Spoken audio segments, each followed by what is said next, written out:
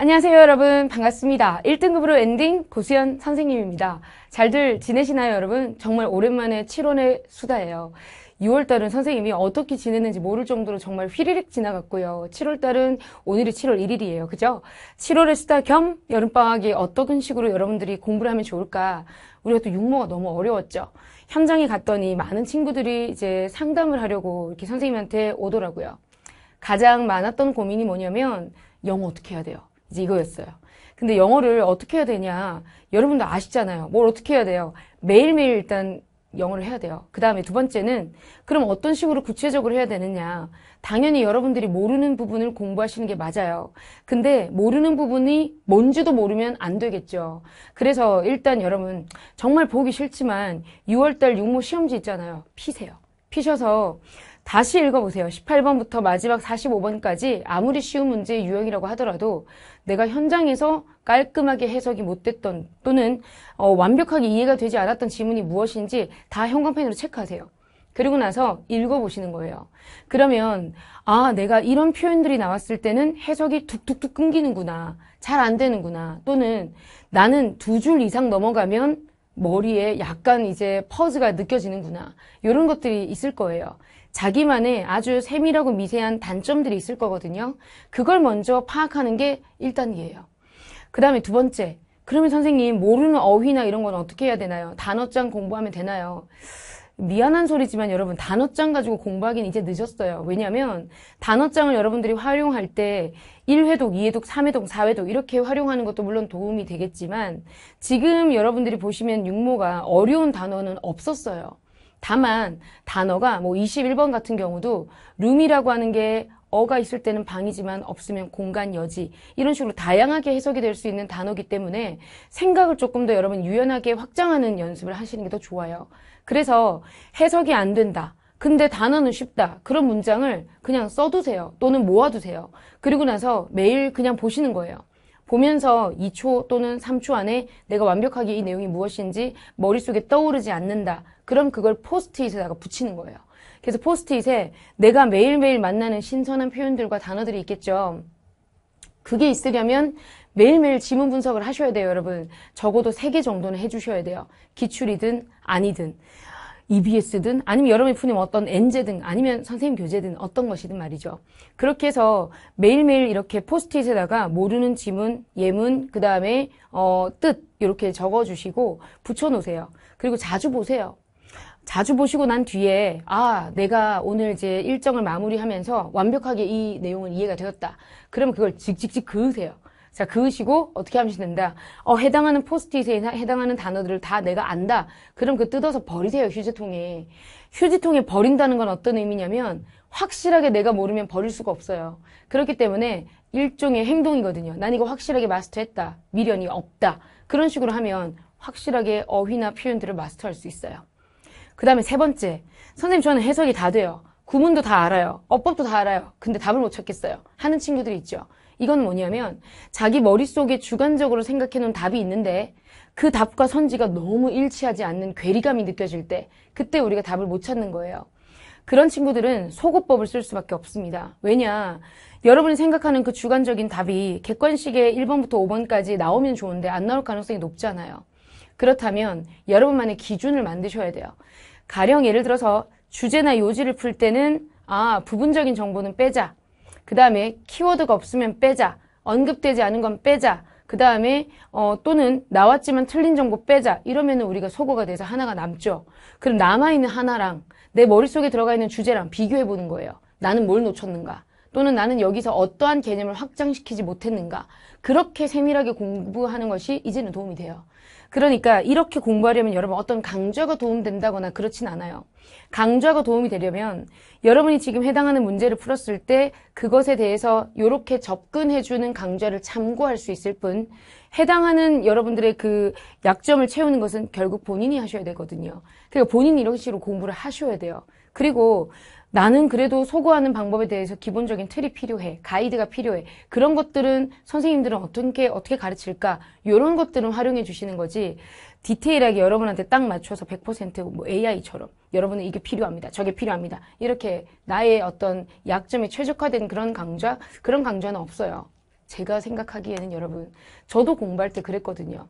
그래서 나만의 학습 방식을 빨리 찾으셔야 돼요. 그리고 이걸 찾을 때는 시행착오가 무수히 많거든요. 그 무수히 많은 시행착오를 다 겪어야 찾을 수 있기 때문에 이걸 건너뛸 생각을 절대 하시면 안 돼요. 자, 그럼 이제 요약해 드릴게요. 첫 번째. 영어 공부를 얼마나 하셔야 됩니까?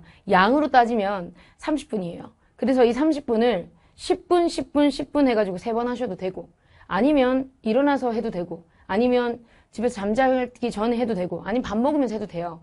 그냥 30분을 꼭 확보해 두세요. 단 부담되지 않게. 근데 이 30분을 매일 하는 게 제일 중요해요. 그 다음에 어, 3개 정도의 지문을 여러분들이 분석을 하겠다 이렇게 보시면 돼요. 그리고 이 기준이 육모예요. 우리 올해 24년도에 실행을 했죠. 시행을 했던 육모를 먼저 보세요. 그리고 육모에 해당하는 지문을 보면서 아 전개가 어떤 식으로 되었고 내가 이 내용 중에 어떤 부분이 해석이 안 되는지 그 다음에 내가 어떤 표현을 잘 모르는지 이런 것들을 여러분들이 뭐 해야 된다? 킵해야 돼요. 그리고 이걸 갖다가 쌤이 뭐 하라 그랬어요? 맞아요. 포스트잇에 정리해두라 그랬죠. 그래서 책상 앞에 붙여놓으시라고요. 그리고 N번 본다.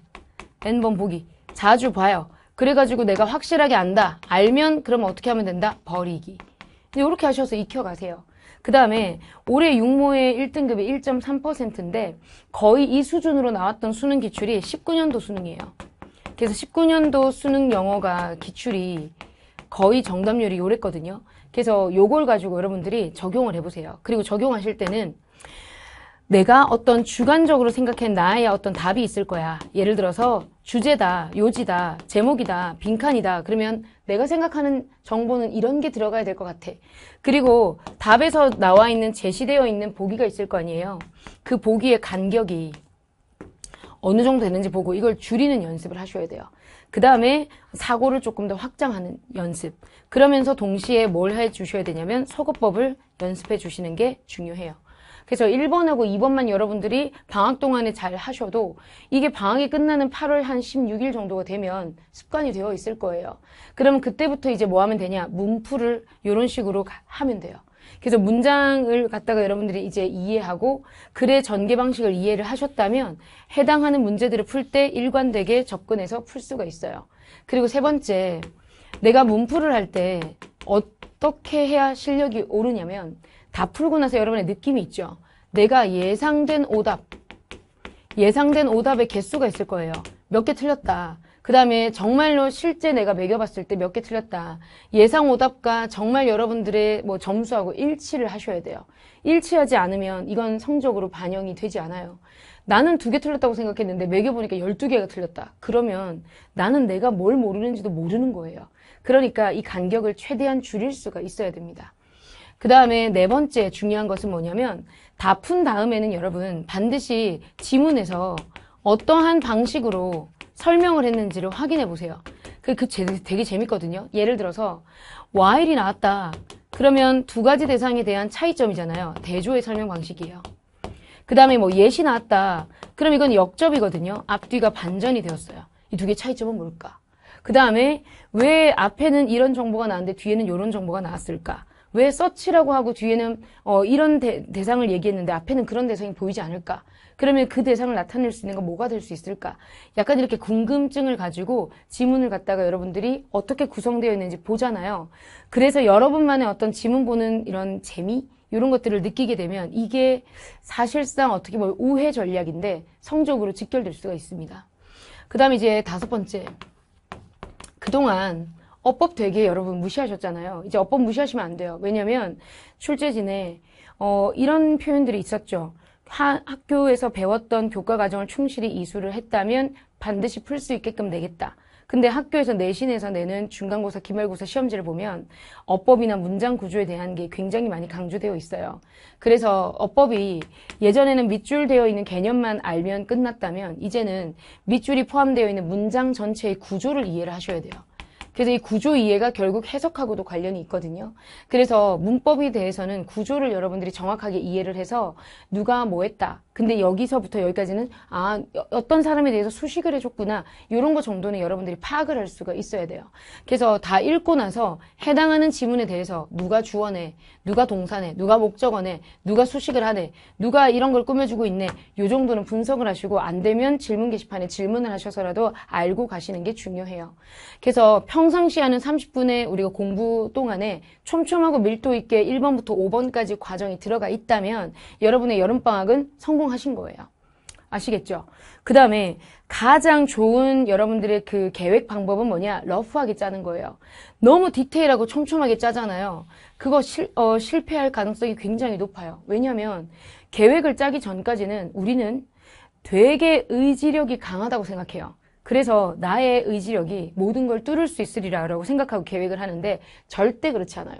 의지력은 여러분 매우 매우 약해질 수 있어요. 언제 의지력이 약해지느냐? 영어 지문에 나왔거든요. 첫 번째, 여러분의 뇌가 여러분의 뇌의 신경회로가 부담이 많은 일을 하고 있을 때, 즉 여러분이 공부에 대해서 엄청나게 부담을 많이 느끼고 있을 때, 또는 힘든 과목을 하고 있을 때, 스트레스를 굉장히 많이 받았을 때, 여러분의 의지력은 줄어들어요. 그러니까 계획대로 실행 못할 가능성이 매우 높습니다. 그 다음에 또 두 번째 어떤 거냐? 푸시가 너무 많이 느껴질 때, 이때도 의지력 발휘가 잘 안 돼요. 세 번째는 피곤할 때 의지력 발휘가 잘 안 돼요. 근데 1번, 2번, 3번에 다 우리는 해당하잖아요. 그러니까 계획을 세울 때는 어 이거 이거 이거는 꼭 한다까지만 하세요. 그리고 나서 플러스 알파를 하면 칭찬을 해주시는 게 좋아요. 그러니까 못할 것까지 다 세워놓고 스트레스를 괜히 받지 마시고 얘는 오늘 꼭 해야 돼 라고 하는 것만 루틴으로 여러분 짜주시는 게 가장 도움이 됩니다. 아시겠죠? 그게 제일 중요해요. 그렇게 하다 보면 굉장히 빠릿빠릿하고 그 다음에 촘촘하고 밀도 있게 시간을 쓸 수 있는 여러분이 되실 거예요. 저도 보통 그렇게 사는 것 같아요. 가장 굵직한 일들을 적어놓고 걔를 일단 먼저 합니다. 그리고 남은 시간이나 또는 짜투리 시간에 기타 사이드에 좀 중요하지 않은 것들을 채워가지고 해결을 하고 그 다음에 어, 다 됐는지 확인하고 이렇게 저는 업무를 하거든요. 그래서 그런 것들이 여러분들한테 좀 이루어지는 그런 7월이 되었으면 좋겠습니다. 그 다음에 이제 체력이 좀 많이 딸리죠, 여러분. 많이 또 덥기도 하고요. 제가 효과 봤던 방법은 마늘 주사 맞을 것. 이거 우리 논술의 박규호 선생님께서 추천해 주셨는데 한번 맞아봤는데 아 도움이 되더라고요. 일주일 동안 여러분 슈퍼마리오처럼 뿅뿅뿅뿅 하고 다닐 수 있어요. 마늘 주사 도움이 되었어요. 그 다음에 이제 두 번째는 뭐냐면 어, 땀을 흘리는 운동을 하면 좋은데 보시다시피 저는 운동 많이 좋아하진 않거든요. 5분 정도만 그냥 숨 차도록 움직여줬어요. 그랬더니 그러니까 혈액순환이 되면서 약간 땀이 좀 포근하게 나는 그리고 나서 샤워해주면 약간 이제 좋았어요. 그런 거 좋았고요. 그 다음에 이제 슬럼프가 왔을 때 우리 친구들이 어떻게 해소하는 게 가장 빠르냐. 저도 삼수할 때 이거 썼던 방법인데요. 첫 번째는 혼자서 심야 영화 보러 가기. 저는 이거 되게 많이 썼거든요. 뭐 애니메이션이나 그 다음에 어 이제 마동석님이 나오는 그런 액션 영화 시원한 거 있죠. 아, 공포 영화는 못 보니까 빼고요. 아니면 이제 코미디 영화 이런 거 저는 많이 봤었고요. 그 다음에 또 어떤 것이 도움이 됐냐면 짧게 잠자고 일어나기. 잠을 자고 일어나면 약간 머리가 뇌, 뇌가 리셋되는 느낌이라서 슬럼프 극복이 좀 수월했답니다. 그래서 그 두 가지가 가장 극복이 되었고 가장 도움이 안 됐던 게 뭐냐면 나의 고민을 떠들고 다니기. 이게 제일 도움이 안 됐어요. 공부를 하다 공부가 안 되니까 친구한테 야, 우리 커피 마시러 가자. 커피 마시면서 내 고민을 막 얘기를 하면 해소가 될 줄 알았는데 아니에요. 왜냐면 친구하고 고민을 나누면 그 고민이 내 머릿속에 더 각성이 돼가지고 더 커지는 느낌? 이걸 뭐라고 설명할 수는 없었는데 좋지 않았어요, 여러분. 그래서 내 고민에 대해서는 그냥 발설을 하지 않는 게 사실상 더 도움이 됐던 것 같고 그냥 아 이런 게 고민이다라고 쓰고 그냥 종이로 어, 써가지고 갖다 버리는 게 훨씬 더 나았던 것 같아요. 친구의 고민을 들어주는 거 그것도 불편했어요. 나 살기도 바빠 죽겠는데 친구가 무슨 고민을 하면 그 고민까지 내 고민으로 되는 것 같아서 그래서 서로 서로의 고민 얘기는 안 하고 그냥 가벼운 얘기 아니면 저는 그냥 대화나 이런 것들은 좀 줄이고 내 내면의 활동 음악을 좀 듣는다거나 산책을 좀 한다거나 아니면 자다가 살짝 일어난다거나 아니면 영화를 보고 그냥 그 순간을 좀 몰입한다거나 그게 제일 도움이 되었었던 것 같아요. 그 다음에 이제 공부에 집중하기가 좀 힘들 때, 개인적으로 저는 그 여러분 수능 모의고사 보면 수학에 1, 2, 3, 4번 있잖아요. 그런 계산 문제들 있잖아요. 아무 생각 없이 풀 수 있는 거. 그거를 일단 풀고 모든 과목이든 들어가면 도움이 좀 되었던 것 같아요. 자, 그게 선생님이 지금까지 공부를 했었을 때 수험생으로 어, 가장 효과를 봤던 방식 아니었나 싶어요.